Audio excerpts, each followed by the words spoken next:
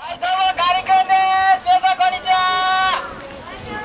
はいありがとうございます。はい今日3本勝負の2戦目なんですよ。実は1戦目わざとあざらにそして隣のイオは43歳まで生きてたんですね。非常に長生きしていた秘訣っていうのはこの海とつながったプールの中で波にこうやってさらされたりとかして体幹がかなり鍛えられてたからおそらく、えー、相当長生きできてるのかなと思います知ってますこっちの方が美味しいんですよ。ね見た目はこっちの方が綺麗です。こっちは甲羅にちょっとブツブツがついてます。これはフジツボだとかカニビルっていう種類の卵がつくことがあるんですけどこれついてるってことは脱皮してないってことなんですよね。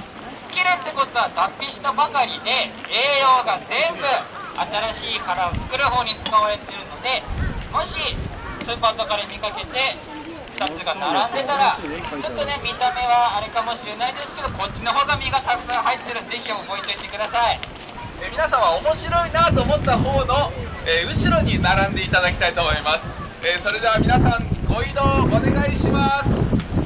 さあ第2戦はどちらが勝つんでしょうか。はい。はよろしくお願いします。当社はカニカありがとうございますはい、えー、それではこれで一生いっぱいとなりました、えー、次戦は